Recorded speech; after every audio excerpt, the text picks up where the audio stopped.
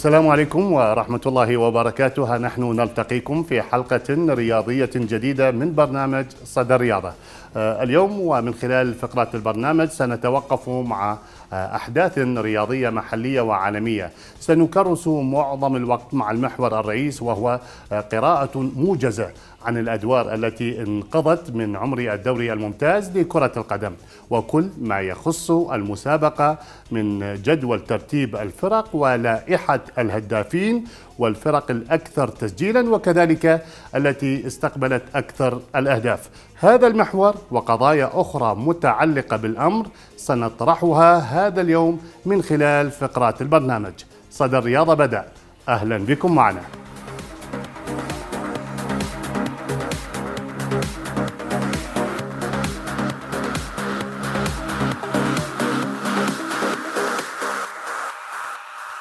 نجدد الترحيب بكم مشاهدينا الكرام والبداية مع مجموعة من الأخبار والأحداث الرياضية المنوعة والمختلفة. آه، عالميا وفي عالم الكرة الصفراء سيواصل كل من الإسباني رافائيل نادال والسويسري روجيه فيدرير المصنفان ثانيا وخامسا عالميا تواليا وفي عالم الفورمولا 1 حصل البريطاني لويس هامilton على لقب فارس تكريما له على إنجازاته في السباقات وحقق هامilton مؤخرا انجازا تاريخيا بحصده اللقب السابع له معادلا ألقاب الألماني مايكل شوماخر. وقد نال هاملتون دعم رئيس الحكومة بوريس جونسون للحصول على لقب فارس الذي يعد من أعرق أنواع الأوسمة البريطانية ليصبح ملقبا بالسير لويس هاملتون.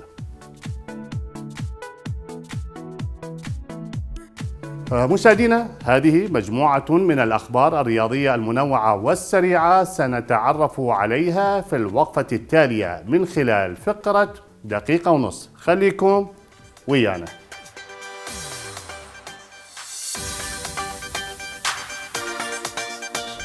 ضمن منافسات كأس العالم للأندية قطر 2020 حقق الدحيل القطري المركز الخامس بعد فوزه على أولسان هيونداي الكوري الجنوبي بثلاثة أهداف لهدف. فيما بلغ تيغرس المكسيك النهائي بعدما أقصى بالميراس البرازيلي بالفوز عليه بهدف للا شيء في نصف نهائي البطولة. بالمقابل أنهى بايرن ميونخ الألماني أحلام الأهلي المصري وتأهل إلى النهائي عندما استفاد من خبرته الكبيرة وفاز بهدفين دون رد. أما في قمة منافسات الجولة الثالثة والعشرين للدور الإنجليزي الممتاز ابتعد مانشستر سيتي بصدارة إثر فوزه على مضيفه ليفربول بأربعة أهداف مقابل هدف. رفع رصيده إلى خمسين نقطة. في الجولة نفسها حافظ فيها مانشستر يونايتد على الوصافة رغم تعادله أمام ضيفه إيفرتون بثلاثة أهداف لكلا الفريقين. رفع رصيده إلى 45 نقطة. في الليغا الإسباني وضمن المرحلة الثانية والعشرين فرض سيلتا فيغو التعادل على مضيفه أتلتيكو مدريد بهدفين لكل منهما. وبهذه النتيجة صار رصيد أتلتيكو 51 نقطة في صدارة ترتيب الدوري الإسباني. بينما حقق برشلونة فوزا صعبا على مضيفه ريال بيتيس بثلاثة أهداف مقابل هدفين. ليرفع رصيده إلى 43 نقطة محتلا مركز الوصافة. إلى الدوري الإيطالي حيث عزز ميلان صدارته للكالتشيو بعد أن اكتسح ضيفه كروتوني برباعية نظيفة برسم الجولة الحادية والعشرين. ليرفع رصيده إلى 49 نقطة بفارق نقطتين عن الإنتر الوصيف. واستطاع باريس سان جيرمان من حسم كلاسيكو فرنسا وقلل الفرق مع ليل وليون. مستثمرا تراجع أداء مضيفه مارسيليا ليفوز عليه بهدفين للا شيء ضمن الأسبوع الرابع والعشرين.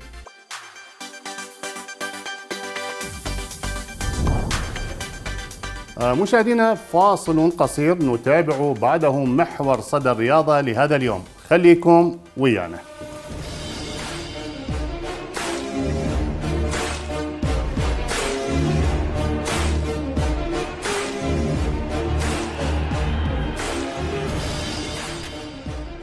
والآن سنتجول مع أروقة الصحف الرياضية لمعرفة ما كتبه الزملاء في مقالاتهم الرياضية من خلال فقرة القلم الرياضي. نتابع.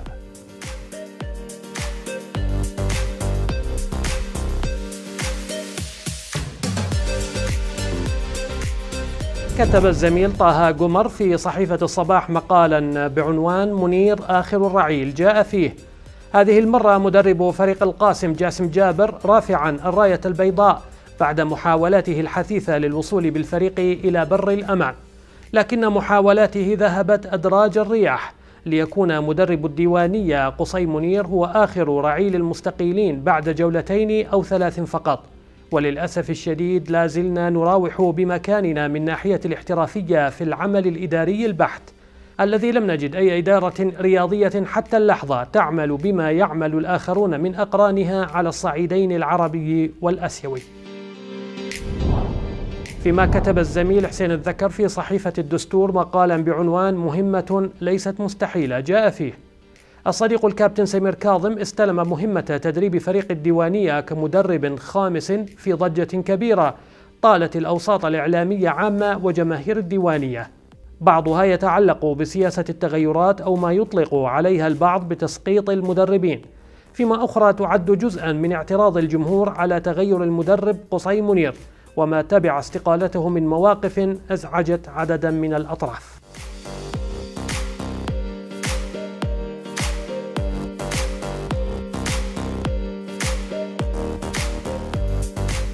مشاهدينا الآن مع محور حلقتنا لهذا اليوم المخصص حول مسابقة الدوري الممتاز والحصيلة الكاملة للدوري والمستوى الفني لجميع الفرق المتنافسة وأحداث ونتائج ومقارنات وقراءات سريعة حول ما أسفرته الأدوار التي انقضت من عمر هذه المسابقة. فضلا عن أبرز اللاعبين الذين أقنعوا النقاد والمحللين والشارع الرياضي بأدائهم المميز. وأيضا مناقشة الوضع العام للدوري العراقي في ظل وجود أزمة حقيقية تتجسد بقضايا عديدة منها استقالة العديد من المدربين وصل العدد تقريبا إلى عشرة مدربين. وهذا ما أثار حفيظة المتابعين والنقاد كونه رقما مبالغا فيه خصوصا وأن الدوري لا يزال في مرحلته الأولى.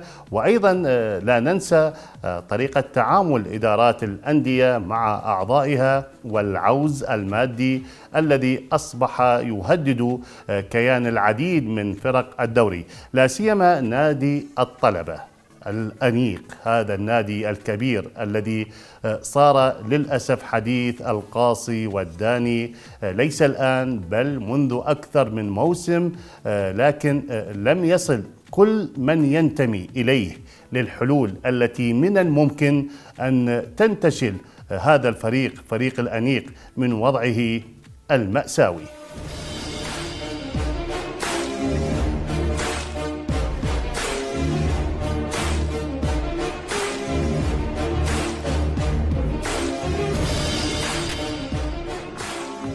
وللحديث عن هذا المحور سينضم معنا عبر السكايب من العاصمة بغداد الصحفي الرياضي الزميل ميثم الحسني.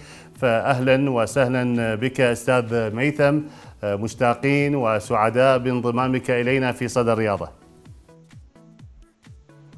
مساء الخير عليك صديقي أستاذ بلال وعلى جميع متابعيك عبر شاشة الرافدين أستاذ ميثم قبل الحوار يعني اسمح لنا أن نتابع سوية التقرير التالي الذي يلخص لنا محور الحلقة ويشمل الحصيلة الكاملة للدوري والنتائج والمستوى الفني العام. مشاهدينا نتابع ولنا عودة لو أمعنا النظر جيدا نلاحظ أن هناك تذبذبا بمستوى الأداء الفني لجميع الفرق المتنافسة من دون استثناء. وهذا يأتي نتيجة الظروف التي تعيشها رياضة العراق على حد سواء. لكننا الأجمل أننا نرى من يتزعم ترتيب اللائحة هو أحد أندية المحافظات هذه المرة أي بعيدا عن الأندية الجماهيرية المعتادة وهذه بحد ذاتها ظاهرة صحية رائعة. نفط الوسط أو عندليب الفرات كما يحلو لعشاقه أن يطلقوا عليه. الذي يقود كتيبته المدرب القدير جمال علي. أثبت للجميع أن اعتلاءه لسلم الترتيب لم يأتي اعتباطا بل نتيجة جهود مضنية وعمل دؤوب ما بين الإدارة والجهاز الفني الذي انتقى أدواته بطريقة احترافية ليكون وفق ما يريد. ولو دققنا أيضا بثاني الترتيب نجد أن القوة الجوية لا يقل شأنا عن سابقه. ولو أن خطه البياني شهد تلكؤا ملحوظا جعل نتائجه تتذبذب من مباراة إلى أخرى لكنه سرعان ما لملم أوراقه المبعثرة من خلال حنكة مدربه الكف أيوب أديشو ليعيده مجددا إلى الواجهة. الشرطة في ورطة دائما وعلى ما يبدو أن لاعبيه مصرون أن يحبسوا أنفاس عشاقهم كما في كل موسم حتى الرمق الأخير. فما بين مد وجزر بنتائجهم وأدائهم داخل المستطيل نرى أن الأمل لا زال يحدوهم بالحفاظ على اللقب مرة أخرى ولو أنه قد يكلف الكثير. لذلك نجدهم مرة فوق ومرة تحت. فيما عانى الزوراء كثيرا بسبب الضائقة المالية التي ضربت أطناب جميع المؤسسات الرياضية. لنراه تارة بذاته الحقيقية وتارة نجده فريقا كسولا غير قادر على مجابهة أضعف الفرق. فكان أول الغيث استقالة مدربه الجنرال باسم قاسم ليكون على موعد مع ابنه البار راضي شنيشل الذي افتتح مهمته بفوز قوامه ثلاثية نظيفة في مرمى الديوانية. منطقة الوسط كما هي منذ سنوات خلت فالنفط والكرخ ونفط ميسان وأمانة بغداد وأربيل وزاخو والنجف هذه الأندية حجزت أماكنها التي استوطنت فيها ولا تريد مغادرتها كي لا توجع رؤوسها. بينما يبقى الطلب الذي تخلى عن أناقته اللغز المحير الذي لم يتمكن أي فقيه من فك طلاسمه التي باتت معقدة جدا. فإذا ما بقي على حاله فإنه سيهبط لا محال إلى الدرجة الأولى والأمر ينطبق على سفانة الجنوب فريق الميناء الذي ظهر هو الآخر بوضع لا يحسد عليه. ليندب عشاقه ومحبوه حظهم على ما آل إليه حاله الحزين. آه، نجدد الترحيب بك أستاذ ميثم. بدءا ماذا تحمل لنا أجندة ميثم الحسني حول آه، قراءته لأحداث الدوري العراقي لكرة القدم آه، خلال ما أسفرت عنه المنافسات إلى هذه اللحظة؟ طبعا بصراحة أستاذ بلال العنوان الأبرز للدوري وهي العاهة المستديمة في آه، أغلب المواسم السابقة وفي الموسم الحالي هو آه، قضية إقالة واستقالة عدد كبير من المدربين مع انتهاء الجولة الثالثة عشر. التغيير المستمر الدوري أكيد في في, في الأجهزة الفنية يضعف الاستقرار الفني لأغلب الفرق وبالتالي العاهة المستديمة اني اقولها دائما بشكل مستمر وهي الحالة السلبية الأبرز. أما بالحالة الإيجابية اللي شخصناها في هذا الموسم على خلاف المواسم الماضية آه، هو الاستقرار الفني في جدول المسابقات آه، وانتظام المسابقة بشكل مثالي على خلاف المواسم اللي شفنا فيها تأجيلات مستمرة في أغلب في أغلب مباريات الدوري. أستاذ ميثم بالتأكيد المشهد آه، يوضح لنا أن نفط الوسط آه، يعتري آه، الصدارة كونك الناطق الإعلامي لنادي نفط الوسط بصراحة وبيني وبينك يعني هل تجد أن صدارة الفريق جاءت متلائمة مع عطاء اللاعبين والمستوى الفني العام أم يعني جاءت بضربة حظ؟ لا بصراحة يعني أنا قريب جدا من الفريق. آه، يمكن كبداية الفريق ما كان يفكر إنه هو يكون في في صدارة الدوري لكن مع مرور المباريات وبعد إنه آه، انسجام الفريق آه، يمكن الجميع يتفق مع نفط الوسط حتى المحللين الدوري العراقي بأنه المستوى الفني مستوى جيد جدا وعالي. آه، ونجح الكادر التدريب المؤلف من جمال علي ولواي صلاح وحيدر عبد القادر ونور عبد الزيد من الأخذ آه، بزمام المبادرة بشكل مستمر من جولة إلى أخرى. وبالتالي هذا النضج آه، بدأ يتضح من جولة إلى أخرى والطموح بدأ يكبر. وبالتالي يعني المستوى الفني لا يشكل أحد على نفط الوسط لكن آه، أتكلم عن طول طول النفس والمطاولة بالاستمرار والحفاظ على الدوري في ظل دخول الجماهير واستعادة الجماهير آه، فرق الجماهيرية سطوتها هذا الموضوع متروك للأيام. طيب آه، ابقى معنا سنتابع معا بعض الانطباعات من أهل الشان حول كل ما يخص شؤون وشجون الدوري نتابع ولنا عودة. نجد أن فريق نفط الوسط هو المتميز متصدر الدوري العراقي استطاع أن يقارع فرق كبيرة وجماهيرية مثل الجوية وزوراء آه، والشرطه آه، نظرا للأداء الفني الرائع لهذا الفريق وأغلب لاعبين لاعبي شباب نتمنى لهم التوفيق إن شاء الله. برز في هذا الدوري مدربين شباب من ضمنهم الكابتن رزاق فرحان أحمد صلاح. أما بالنسبة لترتيب الفرق القاع بعد مجيء الكابتن عادل نعمة أتوقع إنه فريق القاسم راح يصعد في سلم الترتيب كل التمنيات القلبيه إن يكون دوري حافل بالندية وأتمنى التوفيق لمن يخطف لقب الدوري. بدأ الدوري في تصاعد فنيا بعد استمرارية المباريات بالإضافة إنه شيء جميل عودة بعض الأندية اللي كانت تعاني في بداية الدوري مثل القوة الجوية، الشرطة أيضا عادت مستواها. هذا الجانب راح يزيد من إثارة الدوري ويزيد رقعه المنافسة على اللقب. أيضا بعض الفرق اللي كانت أيضا تعاني السنوات اللي فاتت بدات أخذت الثقة من خلال النتائج الجيدة وبدت أيضا ارتفعت طموحاتها أن تكون متواجدة ضمن الفرق المقدمة وحتى المنافسة على اللقب. كل هذه من الأمور الإيجابية اللي حضرت في دورينا. بعض الأمور السلبية اللي واكبت أيضا دورينا باستمرار من ضمنها التأخير اللي يحدث في المباريات لبعض اللاعبين، سقوط اللاعبين، هذا من السلبيات اللي مواكبة على طول دورينا. بالإضافة إلى جانب ثاني مهم جدا هو تغيير الكوادر الفنية. باستمرار هذا راح يضعف دورينا فنيا. أهلا بك زميلي ميثم. يعني هل أنت مستعد للدخول في الإحصائيات الخاصة بفرق الدوري لكي تعطينا فكرة يعني من خلال تدوينك عن الفرق الأكثر تهديفا على مرميات الفرق المنافسة وكذلك يعني على الفرق التي باتت شباكها الأكثر عرضة للتهديد والاهتزاز. نعم يمكن المتصدر نفط الوسط والملاحق القوى الجوية هم الأكثر تهديفا. يعني يمكن تعرف نفط الوسط له 20 هدف ونادي القوى الجوية له 18 هدف ومستوى مستوى التهديف بالمجمل حتى الفرق التي سجلت هذا العدد. يعني الملاحظ لمستوى التهديف هو منخفض صراحة يعني بعد بعد مرور 13 جولة 20 فريق المتصدر والملاحق 15 أنا أعتقد هو مستوى منخفض. يمكن الفرق الأكثر استقبالا فريق السماوة اللي تلقى 22 هدف. يعني مستوى مستوى كبير من الأهداف دخلت في في شباك فريق السماوة.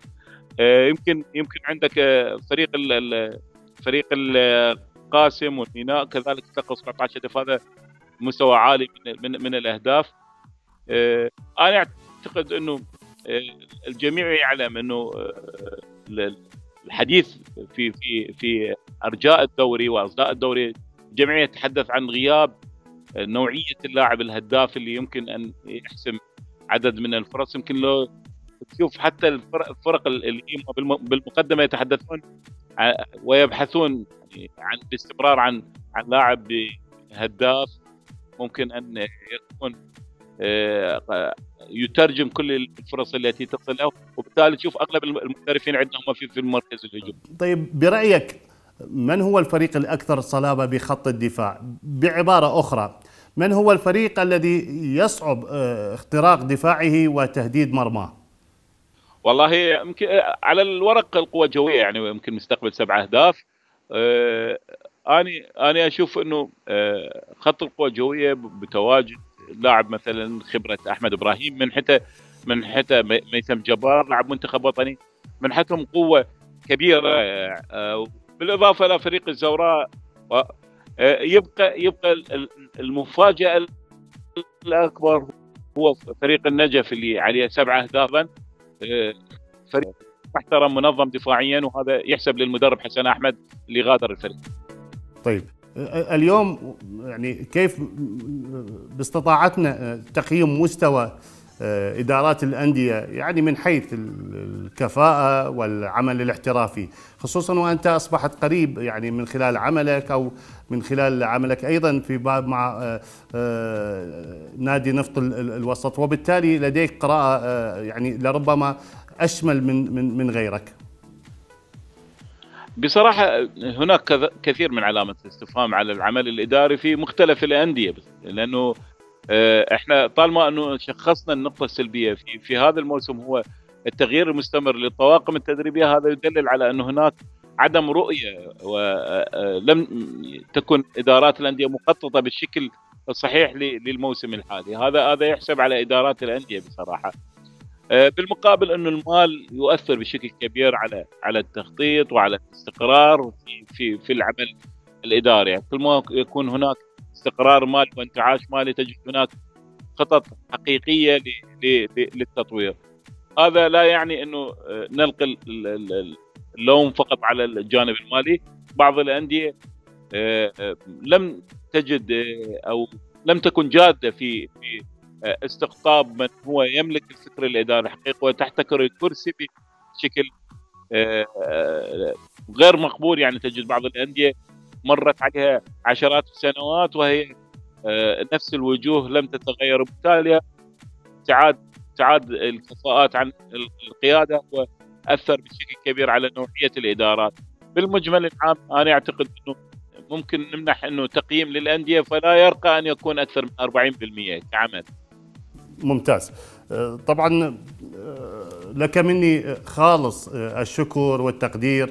زميلي وصديقي وأستاذ ميثم على انضمامك معنا وعلى كل ما طرحته من معلومة حول محور الحلقة. وقبل أن أطلب منك كلمة أخيرة بصراحة أبارك لنفط الوسط طبعا إلى هذه اللحظة الصدارة آه، أبارك آه، لكل العاملين في هذا النادي إدارة وجهازا فنيا ولاعبين. ولحضرتك المسؤول الإعلامي بالتأكيد لك بصمة بهذا الإنجاز. وأتمنى طبعا هذا الشيء يسعدنا آه، أستاذ ميثم لأن على الأقل فريق محافظات إحنا معروف دائما يعني الفرق الجماهيرية البغدادية دائما تتصدر هذا الموضوع. وهذا إنجاز طبعا يحسب لكم. كلمة أخيرة. نعم أنا أشكر حضرتك أستاذ بلال. أنا جدا مشتاق لك وفرصة الحوار مع حضرتك آه، بصراحة سرتني كثيرا بعد آه، آه، تعرف أنه يمكن يمكن خلق لنا الزمن هذه الفجوة أنه أنت بمكان وأنا بمكان. إن شاء الله أنه نشوف دوري يفرز طاقات جيدة تكون هي عماد المنتخب الوطني في المستقبل. ونتمنى لكم موفقية ومشتاق لك وإن شاء الله يعني نتواصل ونلتقي عن قريب. آه، تحياتي مرة أخرى والله يوفقك إن شاء الله. آه، مشاهدينا كان معنا شكرا تسلم آه، عزيزي أستاذ ميثم.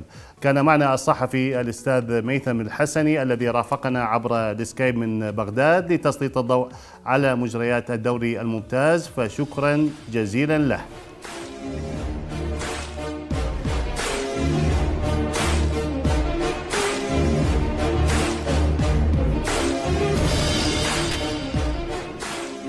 مشاهدينا اذا آه، أيضا لا نعلم آه، ما تخبئه الأدوار آه، المقبلة من تقلبات في سلم الترتيب بعدما بات العوز المادي يهدد كيان الكثير من الفرق والذي بالتأكيد سيجعلها مترنحة يعني بمنتصف الطريق ما بين إكمال المشوار بذات الوتيرة البائسة أصلا أو أنها ستصبح في أي لحظة مستسلمة لواقع الحال وبالتالي ينتهي مشوارها برفع الراية البيضاء.